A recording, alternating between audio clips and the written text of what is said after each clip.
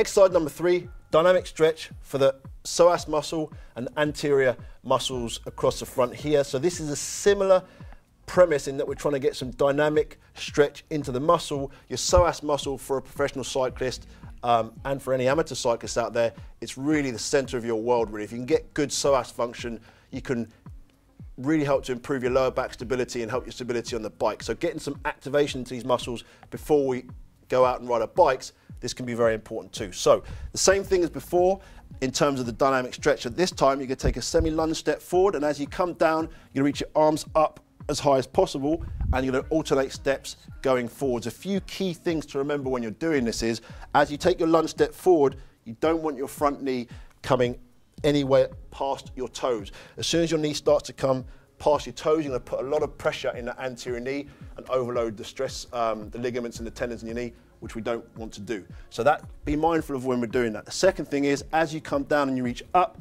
try and reach, make sure you're reaching up as high as you can. As you do that, you're going to start to feel that stretch here across the front of that region where the psoas falls down into there. So away we go and reach up. Good.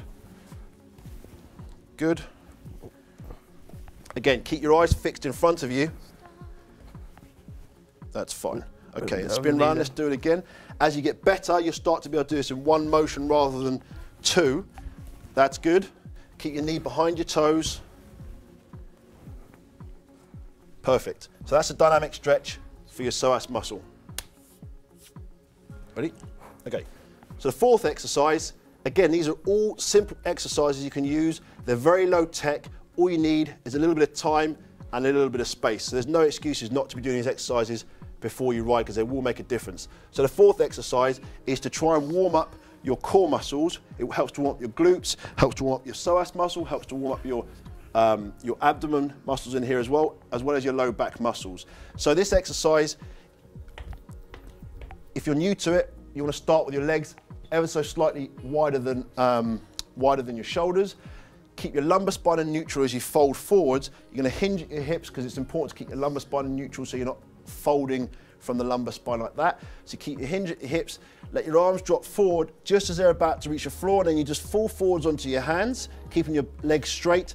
As you do that, you're gonna walk forward with your hands like so, all the time engaging your core muscles. And as, as you get to here, you're gonna walk your hands up, and then you're gonna proceed and do the same thing again.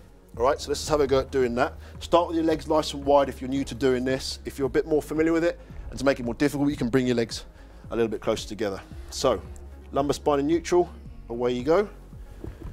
Okay. So, try and get your feet as close to your hands as possible.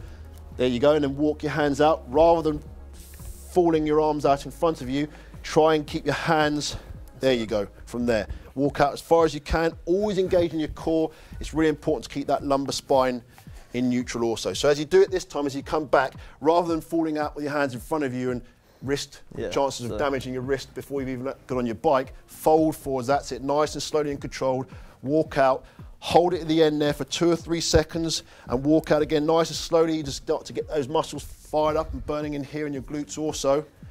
Keep coming forward your feet as far as you can, that's good.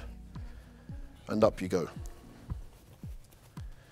So as Dan is familiar with doing these exercises, he can do, you wouldn't know it, you could, you could start with your legs a little bit closer and this is going to make it all that much more harder for your, um, for your glutes and your, your lumbar spine and your low back muscles as well. Okay, so that's the fourth exercise. That's to get some activation into your core muscles before you get on the bike. Put these four exercises together, take you the best part of three or four minutes. That means your body is ever so slightly ready, prepared. The key muscles for cycling are ready to go. So when you climb on your bike, you got a, you got a good chance of getting the most out of it. Anything to add? Oh, tighten here.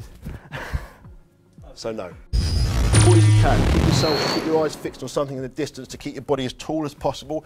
Always remembering to engage your core the whole time. Come up high, and again, come up high.